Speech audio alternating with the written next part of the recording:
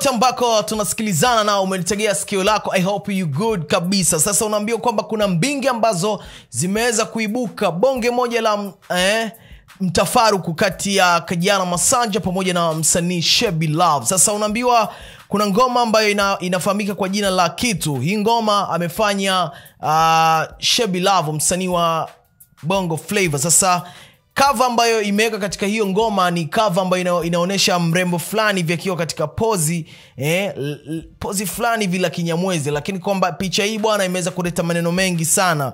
Wengine wanasema huyu ni mtoto wa kajala masanja wengine wanasema huyu sio mtoto wa kajala masanja.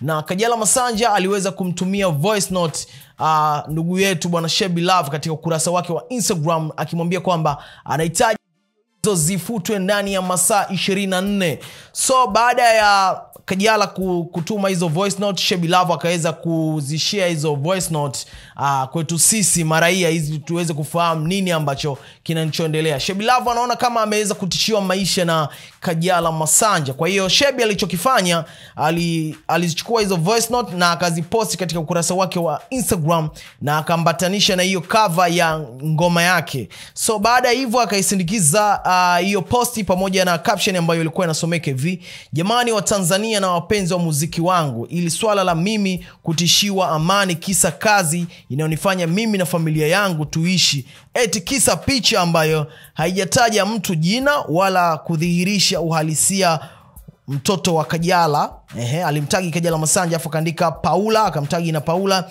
inapelekea mimi kukosa amani katika nchi yangu na kazi yangu. Na pia naomba jamii tushirikiane katika hili. Endapo litatokea tatizo lolote basi familia hii itakuwa chanzo sina nia mbaya lakini maneno ya- yamenipa mas, maswali mengi na kuniacha njia panda. Kwa hiyo hiko ndo kitu ambacho shebi amba aliweza kuandika katika ukurasa wake wa instagram. Anasema kwamba yeye hana shida na haya maneno ila yanampa maswali mengi sana ni kwa nini kajala masanja ameamua kuzungumza vitu kama hivi. Niliamua kumtafuta shebi love uh, mwenyewe aweze kuzungumza kuhusiana na hii ishu lakini simu yake imeonekana haipokelewi. Yani shebi ashiki simu simu inakuwa inaita tu kwa muda mrefu. Lakini pia nikaamua nimtafute meneja wake ambaye anasimamia kazi zake na meneja huyu hapa anafunguka mchongo mzima ulivyokuwa. Uh, meneja. Okay. Eh, bwana poleni kwanza kwa kitu ambacho kimeweza kuwa- kuwakuta. Asante sana.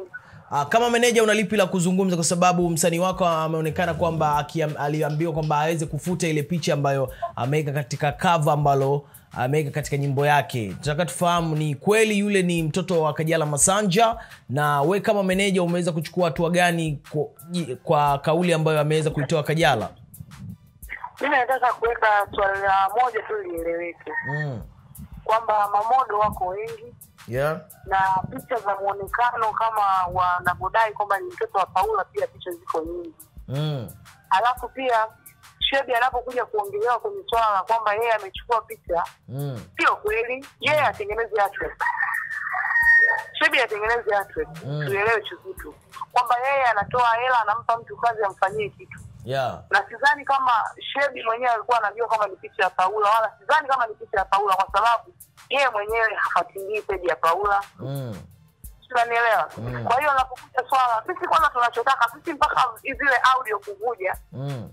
sisi tunataka amani, Mm. kwa sababu pale kama umesikiliza audio zinaeleza kwamba yeye Shebi anatishiwa amani kwamba baada ya 24 hours Mm. kuna jambo litakalomkuta yeah. na ukirudi katika haki za kibinadamu mimi kumfikishia mtu kwamba kitakachokukuta Mm. hilo umeniua kinafsi yani hata kama ujaniua kimwili lakini kinafsi umeniua yeah. kwamba mimi kama mimi umenitishia vile nitakuwa sina amani na nchi yangu Mm. nitakuwa na amani na watu wangu ambao wananizunguka mm. kwa hiyo mimi kama mimi nadhani kwamba sisi hatuna shida kwana kuna watu wanasema sisi shida anatafuta kiki Mm. Hamna mtu mwenye shida ya kiki kwa sababu mziki tunaujua na tunauweza Mm. na pia tuna watu ila linapokuja swala la kajala kutaka kuvunjia amani msanii wangu ni kitu ambacho mimi kama mimi akiniingia kilini hata ukiingia kwenye peji yangu pia utaona kwamba nimekoti kile kitu Mm. kama kinaniuma yeah. sasa tuweke kitu kimoja wazi kwamba shebi kama shebi kwa sasa hivi yuko katika wakati mgumu Mm. kwa sababu kwanza hajui kama picha ni ya paula mm. anashtakiwa wa kitu ambacho hakijui yeye Mm. atengeneze artwork okay Mhm.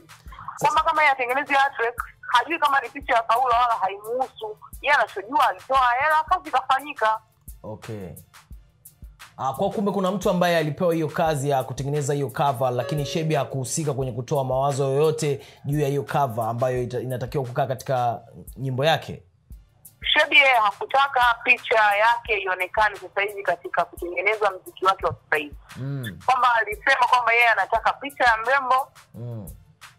iwepo yani katika cover Mm. ya kazi yake hakutaka sura yake ionekane tena si unanielewa na kwa nini mmeweka picha ya mrembo ya kwamba sisi tulijua kwamba yule mtu uliomlipa hela yeye ameenda location amempiga picha msichana amepost ametutengenezea artwork mm.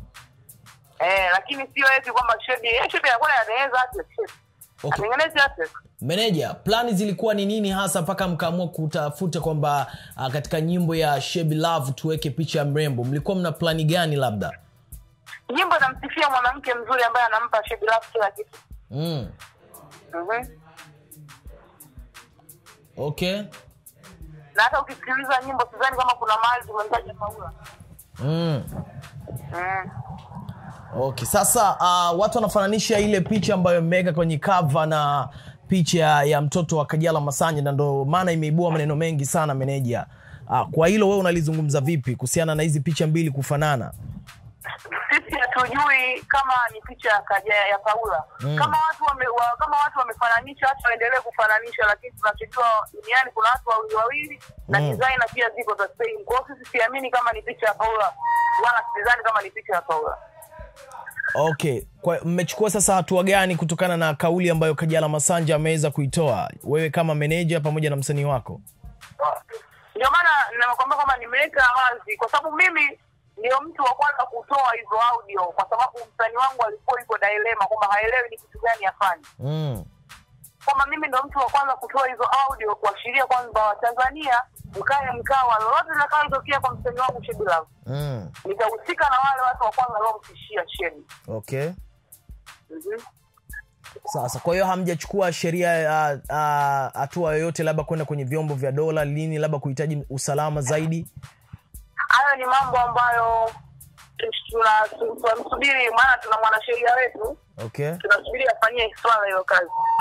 ah, sawa sawa bwana meneja nashukuru sana shebi sasa hivi yuko maeneo gani Kuna kazi nyingine anaendelea kufanya, kwa sababu hatuamini kwamba jambo hili linaweza tukashindwa kufanya kazi zetu nyingine.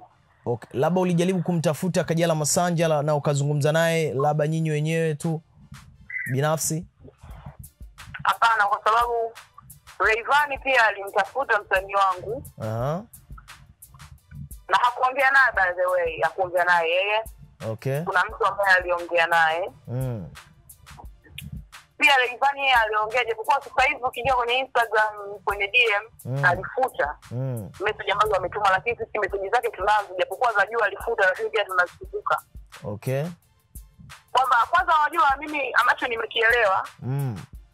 Rayvanny yeye kama Reivani anafanya swala moja la kwamba yeye anajua kwamba Shebi lapo amefanya labda vile kwa sababu ya kazi yake, si na vitu vingine kama hivyo. Mimi Reivani nimemwelewa ni mtu mmoja mstaarabu, yeah ila tukumbuke kwamba tunapofanya vitu tukumbuke na nyuma wapi tulikotoka. mm.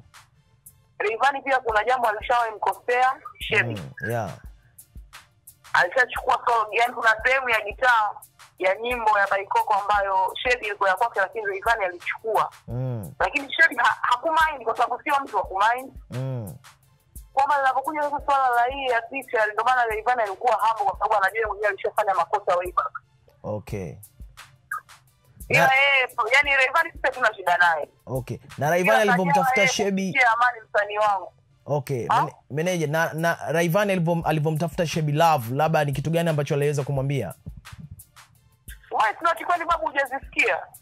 Nimezisikia voice note ambazo kajala tu amezungumza lakini voice note ya raivani bado sijaisikia ambayo ameweza kuongea na shebi love Kwenye mitandao ya kijamii zipo. oh. Mm. okay lakini kama meneja hem tujuze sisi ambao bado hatujafahamu hiyo ishu labda raivani alizungumza kitu gani Um, Rayvanny yeye alikuwa anaongelea kuhusu swala la Kajala kwamba Memaende anaona kwamba Rayvanny anashindwa kuwa mstari wa mbele katika kumlea vizuri mchumba wake Paula, mm. kwamba anamuomba Shebi Love afute ile picha kwa sababu ni bradha yake. Mm.